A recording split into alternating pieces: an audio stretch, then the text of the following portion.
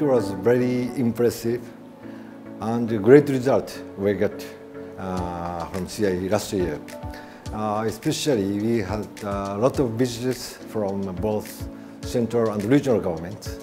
Uh, it is also a big opportunity for Epson to show our solutions, also get the feedback from customer how to improve.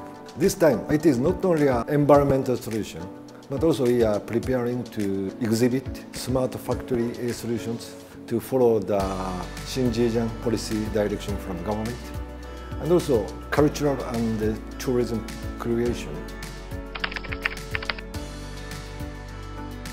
Epson uh, renewed, also announced Epson Environmental Vision 2050 last year.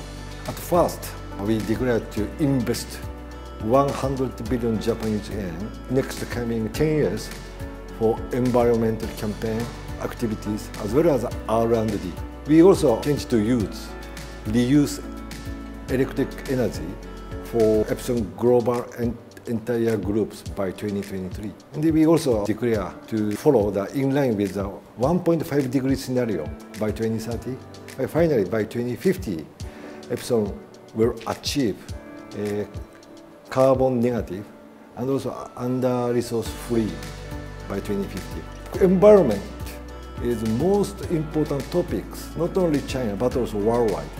I really appreciate Chinese government this green uh, development policy because uh, it is also big opportunity for Epson to help and contribute to Chinese society, also customers, as well as a business chance.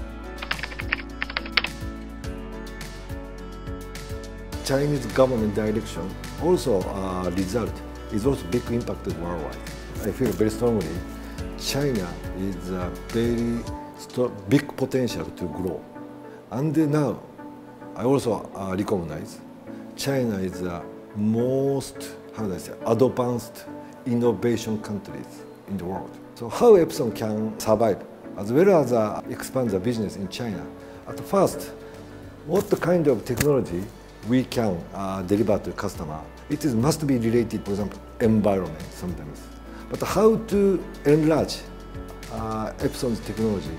Keyword is co-creation, co-work with local companies.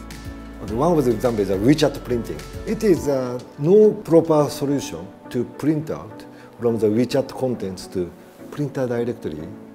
A consumer user has to uh, transfer the data to PC and print out. But uh, many people require to print directly from WeChat application to print. So Epson uh, developed and realized this solution together with the local company. I hope this is quite big help and contribution to the uh, customer who are uh, using WeChat printing.